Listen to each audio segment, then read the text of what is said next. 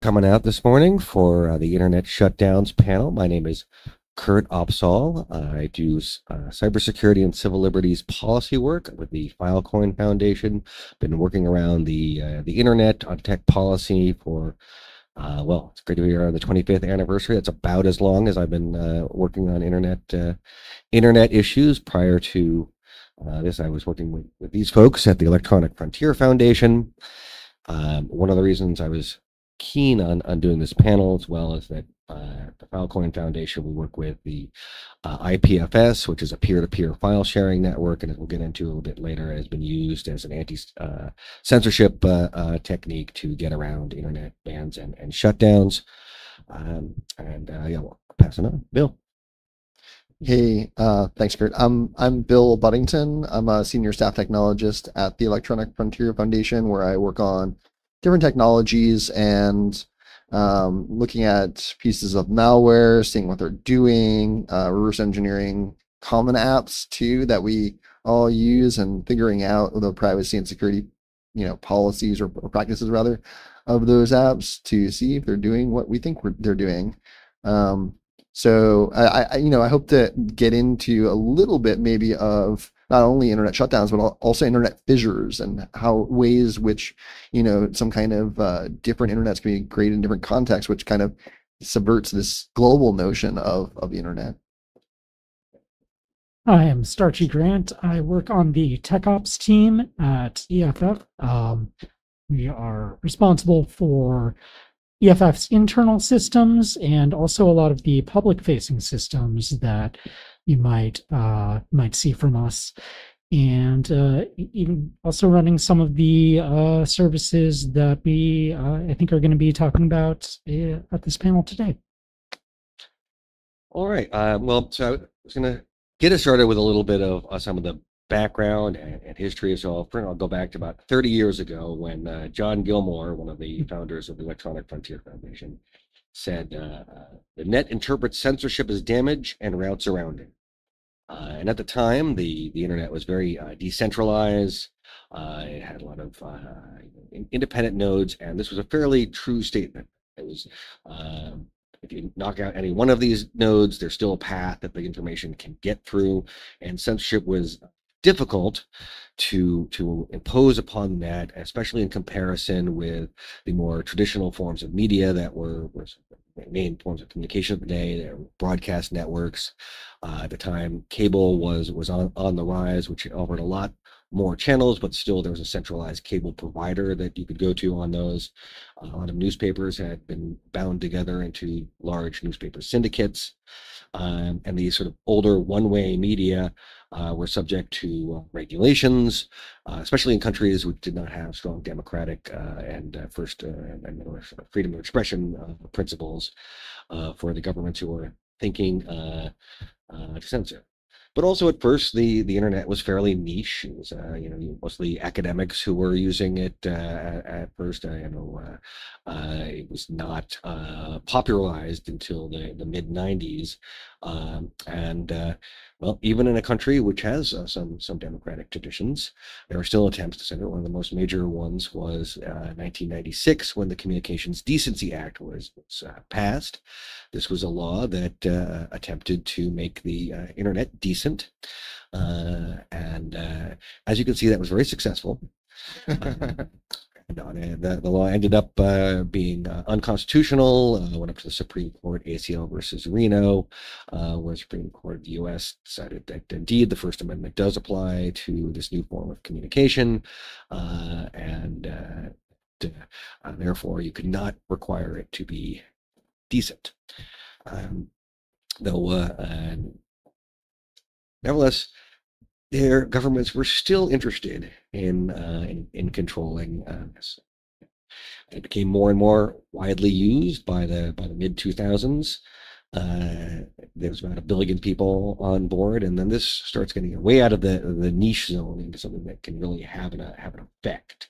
And so, for repressive governments, use of the internet was uh, potentially a threat uh, once a you know, citizen had a network connection, they could go and receive information uh, outside. They could even if they could control all the sources of information locally, if they could get onto the net, that communications could go outside to the world and start talking or getting information from sources outside the government's control. And they could also use the internet to uh, use platforms outside their control to communicate with, with each other. Um, and that especially came up during a time when there would be protests, where protesters might organize or say, "Wow, there was this terrible crackdown. Here's some pictures of the you know uh, uh, shock troops coming to beat up the protesters," and that would incite more people to protest.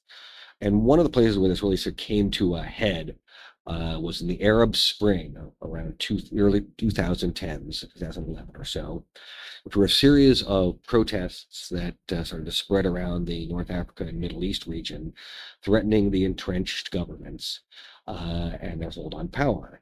And images of the video uh, and videos of these protests and their often very violent response by the governments uh, spread virally amongst people and caused larger protests and, spread to to other countries, um, and this drew a, a, strong response not just from the governments uh, uh, coming after the protests directly, but they're like this internet thing is is dangerous. It took some some Egypt, Libya, and Syria institute full internet shutdowns.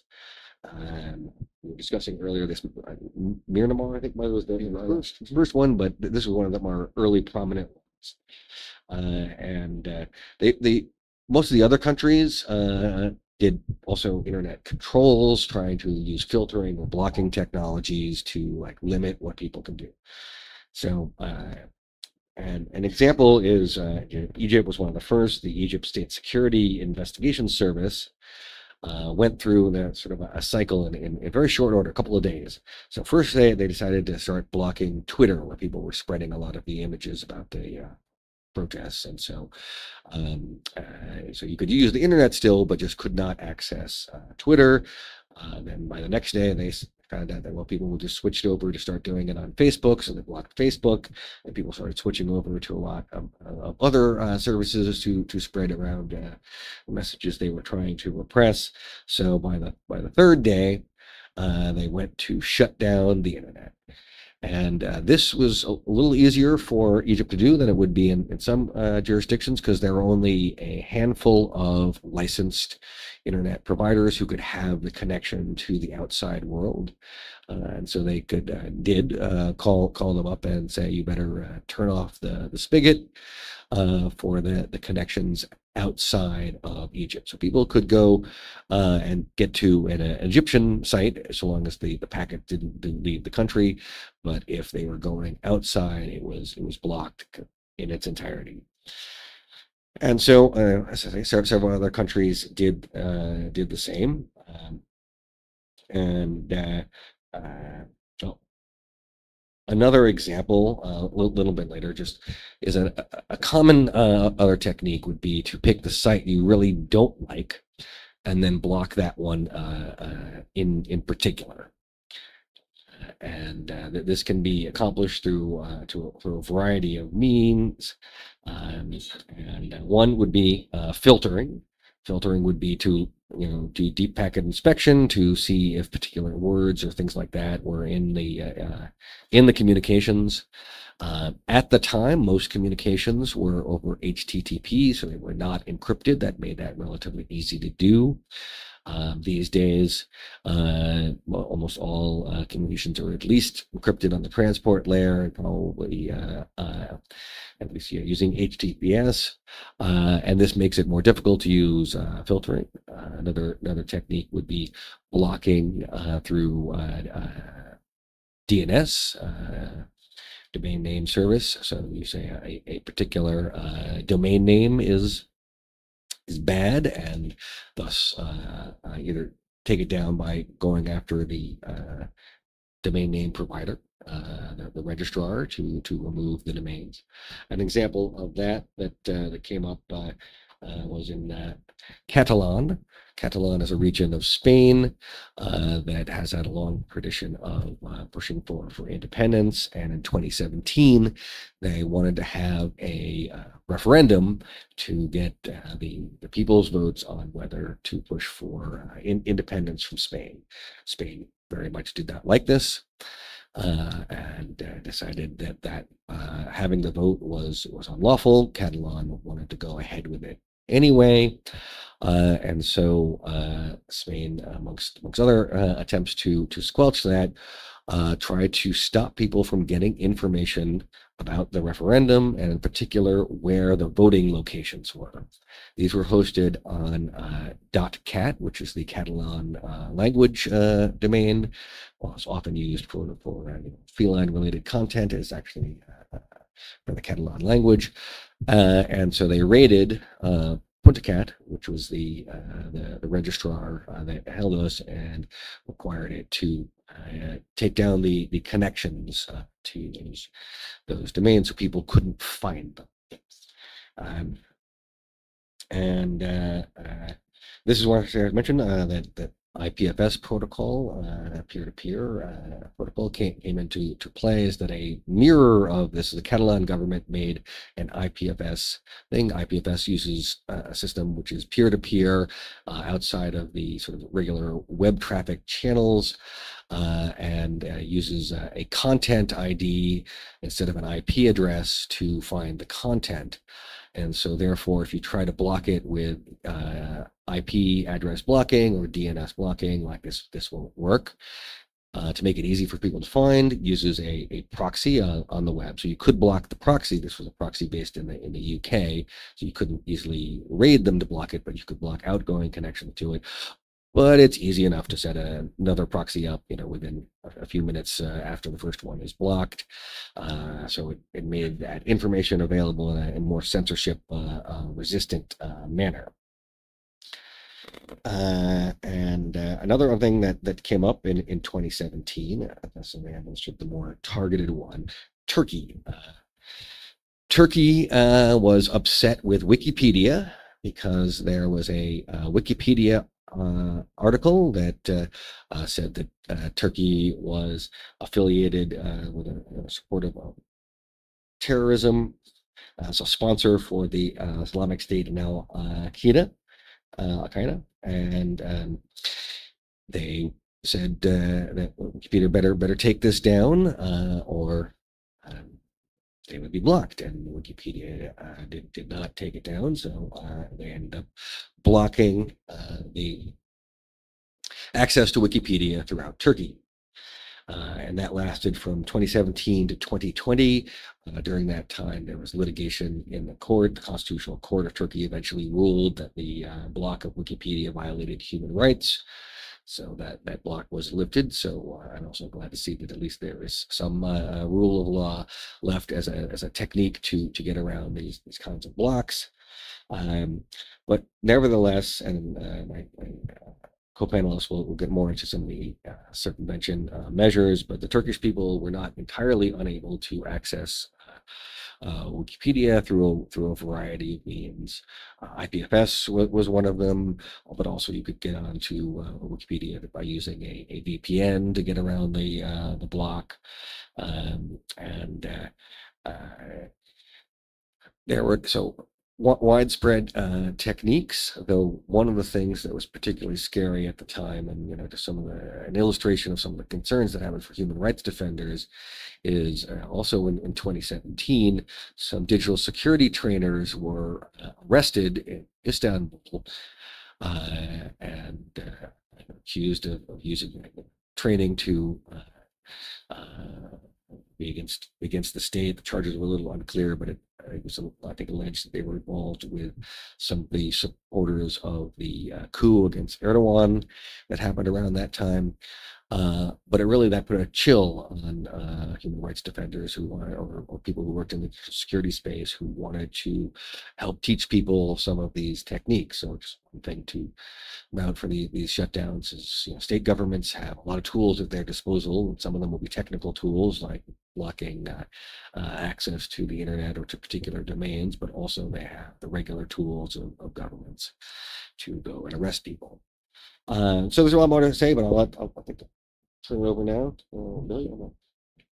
Yeah. So um, thanks, Kurt, for the overview, and um, and I kind of want to go go into some of the I guess structure of the internet and why it developed as it developed.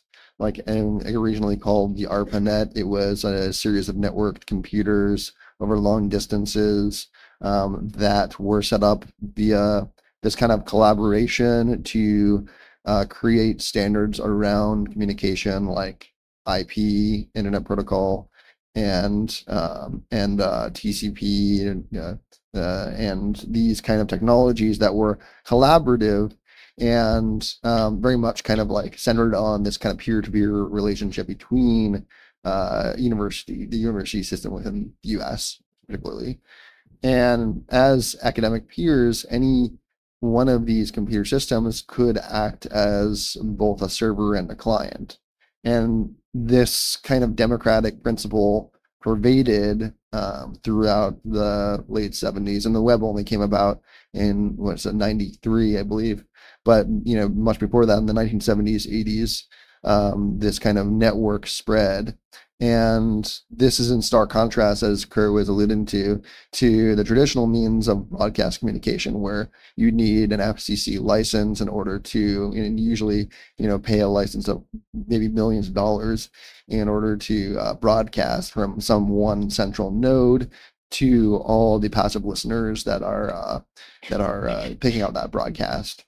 So from the onset, and as kind of Kurt mentioned this this quote by John Gilmore about the um, you know ability to route around uh, that that you know um, these particular you know uh, nodes where if a one node goes down, then the internet kind of is able to use its uh, routing table to kind of figure out how to get around that one block. Um, is the power of, of the internet. And that's how um, it's often very difficult for governments to shut down uh, large segments or within, you know, maybe they, they have uh, the ability to shut down their, you know, end providers, um, but it's often very difficult to.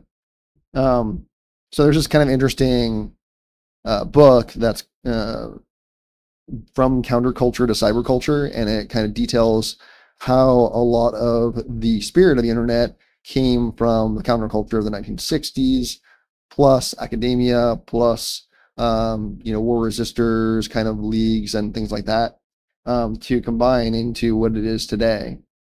Um, so we have uh, this kind of ability for at first, yeah, you had um, you know anchors that would say uh, that would would perhaps you know uh, be uh, at uh, NBC or, or, ABC, and they say, yes, my email address is uh, bill.budington at, uh, you know, uh, nbc.disney.com. And then they kind of like, you know, those, those central, they got their own domains. But then, you know, there were a number of uh, these independent blogs that started. AOL CompuServe. Yeah, back in the day, CompuServe, wow. CompuServe in a very long time. Um, but, um, yeah, so so you know one uh, prominent example of a a uh, service that was a kind of proto blogging service was Active SF. Active SF. This was a um, software that was running uh, for the Independent Media Center. Who has heard of the IMC Independent Independent Media Center? A few of you, yeah. So this was uh, a blog software that was created by activists after the World Trade Summit, uh, or sorry, the World Trade Organization's conference in Seattle in 1999, November 1999.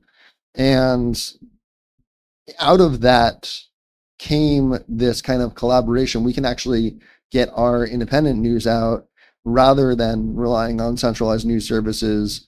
Um, get our independent news out by hosting our own kind of blogs. This is kind of like very proto blogging software that uh, use, I think, CGI or something. Um, and then, um, you know, uh, you had that proliferate, and you had, you know, today microblogging services uh, like X. Um, and uh, you know uh, the Fediverse and a lot of other kind of um, technologies that that had and you see this kind of thing where within the internet you have centralization happening uh, in and of itself and then um, you know you, you, kind of had this in terms of microblogging this dispersal of of that centralization. But, but we're not here to talk about that so much as, as internet shutdowns, right? And and some of the circumvention techniques that you can use to circumvent the shutdowns. Um, where uh, you know you, one you might think of, and you'd be right to think of, is Tor. Um, this is the anonymity uh, network Tor, where uh, you uh, are able to connect to the Tor network, and it's set up so that you connect through three different Tor nodes before you get to your final the final destination that you're trying to say web browse. Um, in this way, you uh, the site that you're visiting does not know what your IP address is, and if you're using Tor browser, it doesn't know about your your normal browser characteristics. Um, one of the things that we develop at, at EFF is called uh, Cover Your Tracks, and uh, it details how much how identifiable you are based on just your browser characteristics, absent cookies. Um, so Tor browser does this great thing where it uh, it uh, removes that kind of fingerprintable characteristics from your browser because you're using Tor browser uh, and you look like everybody else in the Tor network. Um, so so Tor kind of scrambles your connection and makes it so that the website doesn't know, you know, what your IP address and is and your ISP doesn't know, you know, that you're accessing those sites either. Um, and so there's this uh, ability for you to be on, anonymous on the web. It also has the side effect almost of circumvention of censorship because you're accessing these Tor nodes that are outside of, you know, say there's a uh, censorship um, technique that relies on DNS blocking. So the DNS requests go through the Tor network and they don't go through the normal DNS service that um, is is uh, you know usually used when accessing any given site. Um, so just using the Tor network, you get this side benefit of censorship circumvention. Um, a lot of countries block Tor. And they block Tor because it has this property. they block Tor because it gives users anonymity. Um, and to that kind of particular technique of blocking Tor itself, the Tor network has also provided these what's called bridge nodes, which are kind of communicated to, uh, say you're someone in a censorious regime, um, then I, uh, if I'm able to get into contact with you and let you know about a Tor bridge on a specific IP address with a specific uh, access code, then you can still access the Tor network as your kind of first hop. Um, as the as the entry node it's called um is basically your entry into the tor network um and and this this kind of entry into the tor network from your censored location is kind of given to you in a hush hush manner and then you're able to access the tor network and and uh, subvert censorship um you know the level of censorship that you encounter is very much based on the cultural context of the country that you are in. Um, for instance, it's not uncommon for uh, those within uh, mainland China to access VPNs, and it's kind of if you're in uh, a certain social status and and uh, class status, um, frankly, then you're able to access VPNs outside of the country pretty easily. Um, however, in other regimes, it's more restricted, um, so like North Korea, for instance. So um, there's kind of a, a very kind of specific censorship techniques that are used, but a lot of these censorship technologies are not developed within censorship regimes. They're developed here in the U.S. Uh, you know, there's a lot of firewall software that is developed within the US. There's um, companies that make it that ha- don't have any qualms with selling uh, hardware that makes it easier to uh, censor the internet. Um, you know, uh, there's many Cisco routers that that are uh, very specifically uh, have a capability of blocking large swaths. Um, so the technologies themselves are pretty agnostic to the fact that you're censoring entire, you know, swaths of the internet, but um, but they are you know often developed within non-censorious regimes. Um, so that's kind of important to keep in mind and and to urge companies not to sell to uh, countries that that do this. Um, another kind of thing that we wanted to bring up was was you know the capability of what when you have a full internet shutdown uh, where you can't even access uh, your your internet service provider, then there have been clever techniques that citizens have come up with to communicate between devices on a peer-to-peer street level basis. This is called a sneaker net. Um, and sneaker nets are your ability to tap somebody else's phone and get the entire log of a communication system. Um, and so, oh, this is something I got the latest, um, you know, 1500 messages and say only um, seven of those messages out of the 1500 are encrypted encrypted to a key that I myself have. And so I'm able to see the messages that are encrypted to me, but no one else's messages, right? So so this is kind of how a sneaker net might work. And there are sneaker net technologies. There's um, one called Briar, which is B R I A R, which is used. Um, there's others out there that have been used to to some success or not. You know the the kind of uh, you know circumvention of censorship. Um, a lot of the time relies on you not being detected because you know, a lot of the time when you're operating within censorship or uh, censored uh, contexts, then you're operating also within a, uh, a, a repressive regime, and you really don't want to get caught using these things. Um, so so uh, you know, there's also things like um, Starlink, and Starlink being uh, not dependent on um, terrestrial infrastructure as as much as you know. You just need basically a um, connection, uh, you know, a uh, or you know, not just Starlink. There's other there's other um, geosynchronous orbit uh, like a, a Viasat or HughesNet. Those kind of uh, are also uh, options.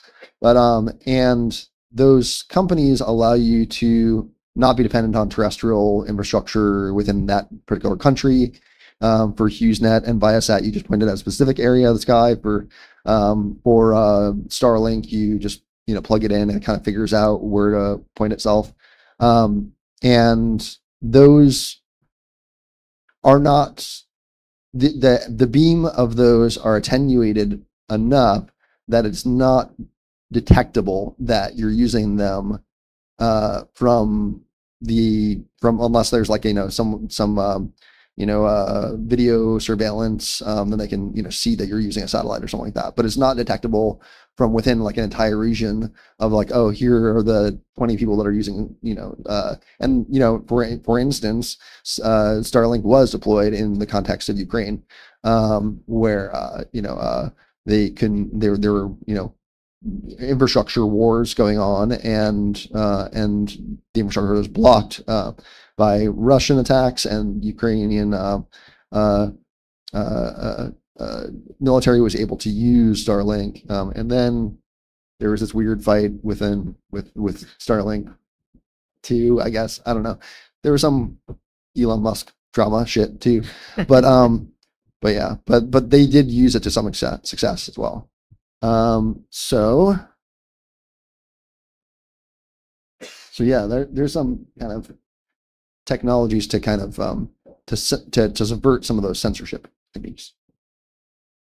Yeah. So uh, just a, a, few things that I'd like to expand on. Um, Bill uh, talked about how you can run a Tor bridge to help people get online if they're in a country that is blocking access to Tor.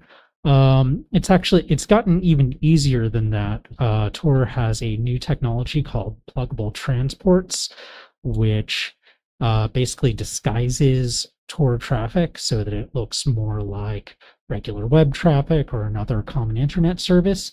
And that is super easy to run a bridge. Uh, it all you have to do is uh, install a browser plugin and leave it running in the background. Uh, you can look for the Tor Snowflake plugin and Not to be confused with the Snowflake data breaches. Different company. different yes um and yeah uh you can just leave that running and help people get online it's uh remarkably easy um and then uh, i wanted to give a little bit more context for those sort of total internet shutdowns that uh that kurt was talking about earlier uh for anyone who's, who's keeping notes we saw some some really interesting ones uh, both before and since uh, the Arab Spring. Uh, the first ones that I know about were in uh, places like Nepal, Myanmar, and the Xinjiang province of China, which I'm probably saying wrong. Um, and that that's all, um, particularly those last two. That's that's um, especially disturbing, right? Those are places where we've seen not just repression, but uh, outright genocide or, or um, you know, claims of genocide. Uh, I should say because I'm not a lawyer and uh, I don't want Kurt to smack me.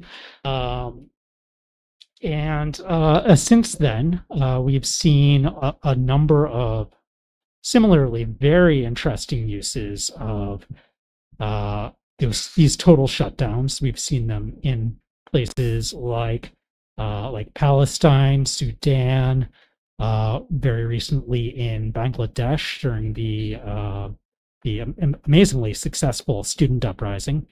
Um, we've also seen them uh, only once fully documented in the United States. Um, and that was that was uh, believe it or not right down the street from the EFF offices in San Francisco on uh, on our subway system BART uh, during um, protests against a, uh, a police shooting in 2011. Um, we see them frequently um, across the globe during national exams. Uh, it's a very heavy-handed approach to try to prevent student cheating.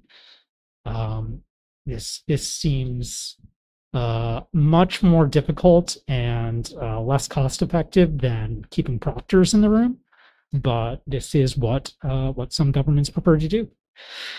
Um, so yeah, uh, the, these these approaches tend to go hand in hand with with repression uh, and sometimes worse, sometimes uh, war crimes and crimes against humanity. Um, so uh, finding ways around them can be very important. Um, we talked about Tor. Uh, another thing that's come up recently is um, if you are familiar with the Signal uh, Signal Messenger, um, that is a very important uh, service for private uh, messaging. It's it's really you know the, the best of breed for keeping your messages private and secure. They've also seen national level blocks in a few nations recently. And uh, that is another service that you can run your own uh, proxy for to help people access it if they are in one of those nations. Uh, they have a great blog post uh, taking you through that step by step. Um, I, I have a lot of experience with running servers and those kinds of services, so probably won't help too much if I tell you it only took me a few minutes.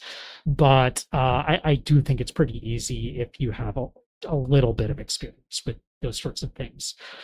Um, and then if you have a lot of experience with things like software engineering and network engineering, uh, maybe check out uh, projects like Meshtastic or other mesh networking projects to help people do uh, peer-to-peer networking uh, so that during emergencies, protests, um, you know, or these kinds of nationwide shutdowns, uh, people can keep their devices talking to each other, uh, keep their neighborhoods and their communities informed. Um, should we should we go to questions? All right. Well, I was, I was going to try and um, tie some things together, and then we yeah we take your questions uh, uh, com- coming up uh, momentarily. but just sort of try and try something. That's a, you know, many governments are are concerned about what you know what kind of com- uh, conversations are having in their country. That may be against what they're what they're looking for uh, in of their uh, public positions on things, giving people information that may rile them up or such. A lot of times you know these uh, blocking or shutdowns are around either protests or you know an election or some moment of uh, uh, where a lot of people might be activists and uh, sending around messages and promotion of that.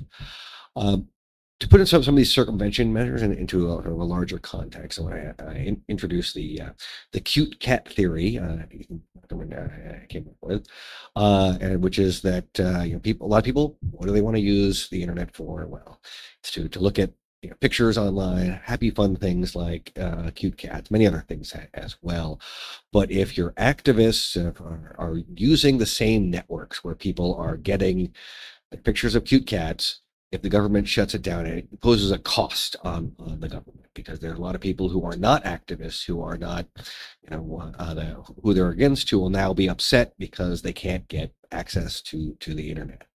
So this in, incentivizes governments to to try to go after and you know just try and stop the communications from those that uh, they're they're targeting, and by uh, using circumvention techniques which make your traffic go amongst uh, all, all the other traffics and these things, you make it harder or more costly for the for the government to shut down communications.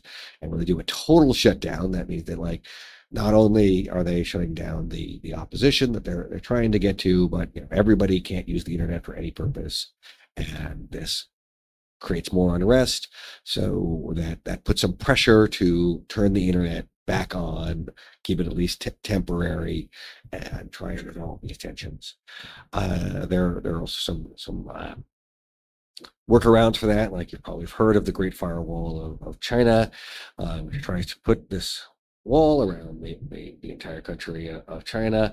Uh, but they've also put tremendous effort into replicating a lot of these services for, for social media with Chinese companies that, uh, that are subject to Chinese government control so that people can get access to the internet. They just can't, uh, say, anything that would be go against the the censorship rules. So that that sort of illustrates another sort of larger point is that centralization uh, is one of the uh, the techniques, and in some countries this is because uh, the, relevant companies are either owned by or controlled by uh, the government, and there's only uh, a handful of them, making it a sort of one-stop shop to to go and say, okay, this kind of content. No longer can you say Winnie the Pooh on the Chinese networks because Winnie the Pooh became a a uh, means of criticizing the presidency. So uh, having decentralization can be i think this is not to say that that uh, each of the nodes of a decentralized network aren't subject to uh, whatever jurisdiction that they are in but they are spread out often uh, globally around other jurisdictions and many of them may be in ones which have more uh, thoughts about human rights and and uh, be willing to defend that uh, and you still have to go after them sort of individually and so it gets us closer to getting sort of back to that notion uh, of the internet interpreting censorship of damage and routing around it. But when it has has to all be routed through one centralized company uh, or centralized service, then it's then it's easier to to do. And some of these things may be maybe a trade-off. If you are going to sort of maximize uh, being able to communicate in a method that the government might be uh, get the whole population upset, then you might need to use a centralized uh, service until the decentralized services become popular enough that they are not unusual or not, you know, uh, easy to block. Uh, this is where, you know, best if we can move away from having centralized services be the most popular and used ones. Uh, so uh, we have. Oh, well, I did want to kind of like add to that yeah, too. please. The um, just before uh, open up to questions that this is kind of why also HTTPS is so important, right? So with, with HTTPS, uh, you are, if you are a ISP within the country, then you're usually able to, uh, unless you're using a specific technology, you're able to see what domain someone is accessing, but not what they're accessing on that domain in HTTPS. So um, there's a technique called domain fronting, uh, where a large site might put up a service that is that offers a communication service a way to channel through that large site in order to get that communication out.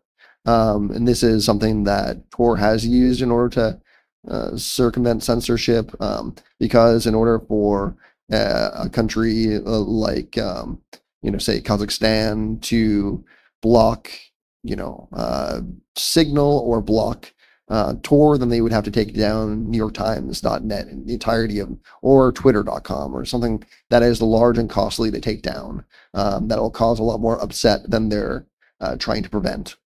Um, so a lot of countries are not willing to do that. And I guess I'll you know stop on that final point where this is kind of where some of the dangers come in when there is a non-global internet. There's a regional kind of internet services that you know instead of China, most of China using um, most you know, the common messaging services that we use, they'll use QQ uh, a lot instead, uh, or microblogging uh, via uh, or you know Baidu and and other services that have been developed, you know, that aren't kind of uh, the global standards, but they're mostly specifically for China, so that it's easy to block because there's so so many uh, Chinese citizens are you know reliant on those uh, uh, internal services rather than the ones that uh, are hosted outside. So it's easier to control um, and easier to block if if something is is um, being being done that that that the Chinese authorities don't like. So um, so yeah, there's this kind of technique of domain fronting, but but the danger here is that we have this kind of uh, what's called balkanization of the internet. Um, this this um, you know mini internets forming within specific jurisdictions that are able to be blocked or more easily censored. Um, so yeah, that's that's you know one of the the ongoing kind of threats that that uh, I see and kind of threatens this kind of global um, cooperative internet structure that we all know and love. So uh, there's a mic there in the center. So if you have any any questions, and line up, uh, Mike, we'll be happy to uh, to answer them. Fortunately, we'd never see that kind of issue here in the United States as long as you're not hoping to keep using TikTok. Hmm. So uh, tech, can you hear me? Tech, politics, society, activism. Uh, you you guys have focused a lot on the tech side of of the issue so Mhm. far, and based on your backgrounds. Um, and so everybody in like this room knows, uh, like on the cyber side, if you're the target of a nation state, then there's almost nothing you can do. If you, as an individual, are the target of of a nation state, there's almost nothing you can do. Um, there's just too much out there now. Um, so you guys have framed a lot of this uh, in terms of activism within these countries. Is there a little nuance in terms of nation states in the information space acting within your country? So thinking misinformation, disinformation, automation technologies, um, machine learning, like all these technologies are getting more exquisite and they're getting more automated and they're getting more effective. Uh, so in terms of other non-liberal nations targeting more liberal societies, they don't have a right to use our roads when when for their military. Why would we let them use our our networks? So is that is there a little bit of nuance there, and and where is that line? All right. Well, that raises uh, actually a, a number of things, and so uh, you know, if, you are targeted uh, certainly by a, a major uh, nation state, uh, you're in a bad way, uh, and you know that's. But it's also difficult for them, you know, to target everybody. Like there's a difference between mass surveillance and targeted surveillance, and you know the the best protection against targeted surveillance is that make it so it's very hard uh, to surveil everybody and so that has to require special effort and they really have to care about somebody to go after them so like if, if they have to use a uh, O-Day, a zero-day, you know, uh, exploit to get onto your phone because of a fully patched, you know, well, well-protected phone. They got to spend a couple million dollars to buy that that exploit. If they use it, there's a risk that it will be discovered by like the find people at Citizen Lab, for example, and then you know you you you becomes expensive. But if you're worth a couple million dollars to go after, then you know you're you're you're gotten. Um, you're also saying like you know sh- shouldn't we uh, sort of I think a, a, a very different question, uh, which is you know uh, uh with other nation states using U.S. based networks. And uh, one of the one of the things is the Or NSA. maybe, maybe partners. Yeah, So, sure. Other countries, because that's Yeah. So uh, Bangladesh. Right. So one of the things to just put uh, uh, maybe a, a piece of perspective or you see nuance on that, so that you know, most internet traffic worldwide goes through the United States. They they take the fastest route, not the shortest route. So if you have a, a packet who's going from uh, Africa to South America, you know, it doesn't cross the South Atlantic. It goes to the United States and then goes back back out again, uh, because that's where the the fast pipes are. Uh, this has been considered by the U.S. government to be a huge strategic advantage, and uh, they for the uh, national security agencies uh, spying uh, uh, foreign intelligence mission, uh, putting uh, sniffers on on that uh, on that traffic was considered to be a boon. This was the sort of the heart of the um, NSA surveillance program that got into uh, full swing uh, after uh, 9/11, It's called Stellar Wind uh, for a while. Uh, that EFF spent uh, spent many years uh, suing the NSA over for its uh, uh, un- unconstitutionality. Uh, but uh, uh, at least from the from the point of views of the government, to having having that go through your your having foreign traffic go through your systems gives you abilities to surveil and to institute some controls. As far as content controls, that's a little bit more more challenging if you are a, uh, a government with uh, a, uh, commitment to freedom of expression uh, and um, uh, you know, a rule of law. You also have to consider that your citizens have a right to read, a right to receive information of their of their choosing. So if you start to block uh, foreign nation states who you feel are doing uh, misinformation or, or bad acts, that comes into tension with with a, a right to uh, to read, which would be uh, difficult to justify within uh, a system of free expression. So it may come to a point to do what you're you're describing that a uh, liberal democracy would have to give up its values in order to protect itself against this sort of thing, and then that that certainly begs the question: is uh, you know do you become the enemy in order to fight them? And- Yeah, I'd say it's also worth considering that this isn't a one-way flow, uh, that the US and our partners certainly do also uh, perform the same kind of, uh, let's say, content injection or whatever you, you would like to call it, uh, in nations, you know, in their, uh, in their uh, social media and their other fora um, with messages that we want to get across. As recently as as last week, uh, there was a story about the U.S. military uh, putting content on Tinder in Lebanon, for example. So,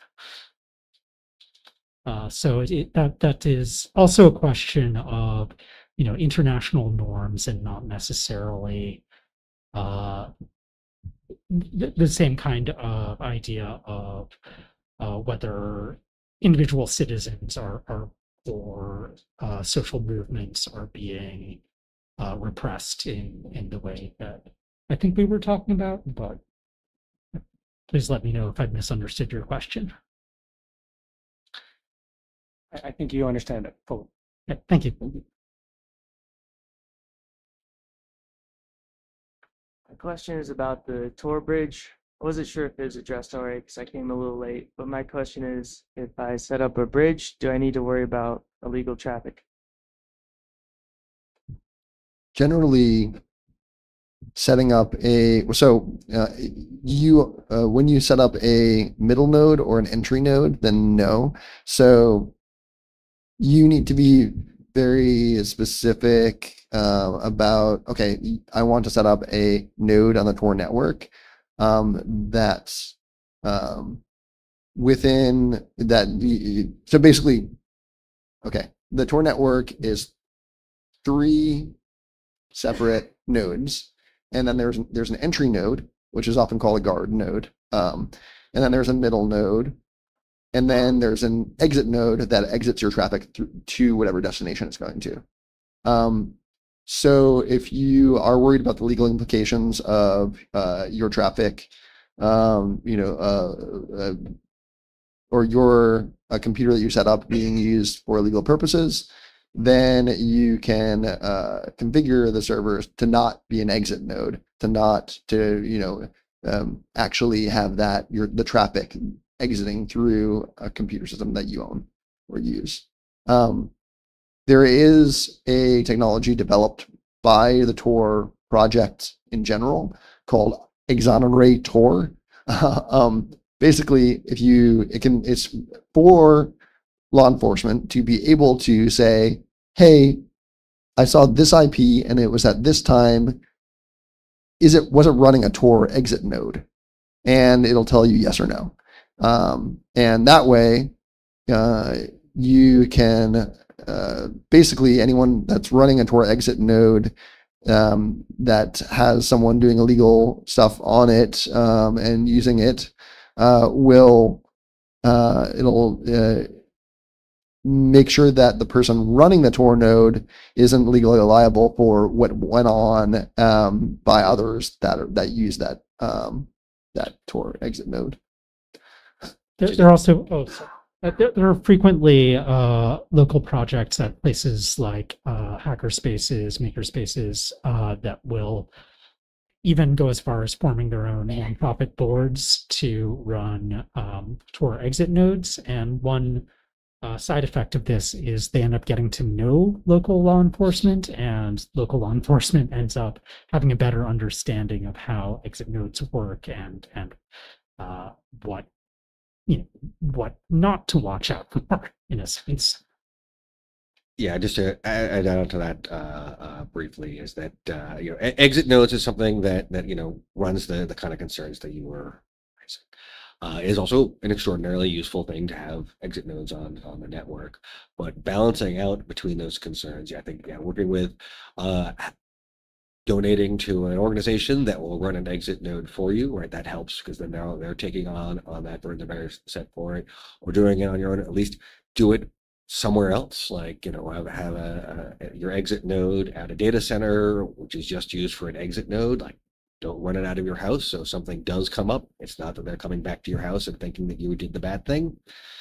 Um, and uh, law enforcement, at least in the in the U.S., has I guess you know those who work in in uh, the cybers have an understanding of, of of Tor. For a while, there was a uh, particular FBI uh, guy that I got to know who was the one who you could call up and say, "Hey, there there came by to uh, or you know ask some questions of this exit node. Could you explain to your colleagues what an exit node is?" And and he would, he would do that. Uh, but now many many of them know. But keeping it separate from your personal life uh, is a is a good good thing to do. And there are ways that you can support exit nodes without doing it where it will impact you directly by running it out of your house. Thank you. Hi, uh, quick question. With Meta's movement now towards end-to-end encryption, how does that impact what we're going to see abroad relative to, um, you know, to governments trying to, to stop, you know, trying to censor things? So I believe that Facebook Messenger's default is still not encrypted. If correct me if I'm wrong. Um, and then they're rolling it out. It's, Yeah. okay, okay. Yeah, that problem. Uh, Great. Um, so uh, we believe that the defaults that Signal uses are safer than a lot of other messaging apps. We believe that the rollout of end-to-end encryption on various messengers is a great and positive thing. Um, but you have to kind of, uh, for instance, on WhatsApp, you have to change the defaults um, in order for your messages not to be backed up to iCloud, uh, your interlocutors' messages not to be locked up to to be uh, uh, you know uh, also transmitted to iCloud. Um, the great thing about this signal is kind of that as a private messenger, it you're using it for communicating privately. That's the main use case. They're not going to sacrifice the security of the app for its um, presumed for, its usability, but actually it's a pretty fucking usable app now. It's like it's got fucking stickers and shit. I mean, like, um, so I, you know, I think that um, What about Facebook, which is so ubiquitous? Everybody uses Facebook and, you know, X, Y, Z. So it's not unusual for them to be on. And when that goes to fully encrypted, it's going to add another dimension into So- the ability to censor or stop. Yeah, so this this I I think is good. We're we're running running towards the end of time here, so uh, I'll use this as a as a way to sort of wrap up some of the, some of the things. So uh, so Messenger uh, is used by like a billion, you know, plus Right. people, right? It is an extraordinarily well, you, you know, popular uh, thing, and by moving it to uh, encrypted, it means that you can't do the kinds of uh, surveillance, packet sniffing, you know, information about it. If it's end to end encrypted, like it is, uh, you can't go to Facebook and say, "Give it to me." Uh, so what this means, sort of in the context of this censorship uh, and shutdowns, is that it's therefore, uh, if you're really worried as a as a country that Messenger is being used to uh, by, by activists, by opposition figures, by anybody to uh, your your choices are now you know a shutdown of Facebook becomes one of the options that you might not have considered before because you can't do that sort of the the granular thing. On the other hand, a shutdown of Facebook Messenger, which is used by by billions of people, will impact your country and your populace a lot more than shutting down Signal. Right. And also something that gets your, you know, your your uh, come under physical scrutiny by by the authorities of that country, and you have Messenger on your phone. This is in no way weird or a sign that you are a troublemaker. Uh, and so, in some countries, it actually, even though Signal has, I think, uh, Bill's right, it's a wonderful thing. It's a, a probably a better tool, but it is not used widely enough that it, it's not maybe a bit weird to have it on your phone in a way that it, you might not want to seem weird uh, when you're having a in-person interaction. Means So- it's intentional that you want your communications encrypted. yeah, and so by th- this, this is so it it really hits on that that like maximizing protection against mass surveillance and maximizing protection by having it so that the messages that they want to censor are intermingled in an indistinguishable way with billions of other messages. So that that makes it harder to to do these kinds of blocking and tracking. But it also means that some countries will be more and more tempted to shut down a service or if, if that doesn't work, shut down the entirety of the internet. So one of the reasons perhaps that we're seeing more and more of these total shutdowns is because the governments are, are making a choice that they can't successfully block the, just the things that they don't want to have, and they're willing to pay that high price of everyone being upset by doing a, a, a shutdown, uh, which is is very unfortunate. And, uh, you know, we want we want people to to keep it on. Uh, keep it on. Also, just a, shout out to Access Now, who's been been following this for for a lot of years and has been documenting it. Uh, the, the the cover uh, uh, for this, the, the description of this session was talking about the 2022 numbers. The 2023 numbers were up, I think, 41 percent. Number of shutdowns and to I think a record uh, number of countries, and you know, 2024 we'll get the stats at the end of the year, but it's it's increasing, uh, and there are organizations as well called like the Keep It On Coalition that keeps track of that. So, I just want to give a shout out to them as well. So, thank you for your question. Thank you all for coming. Uh, that's a wrap.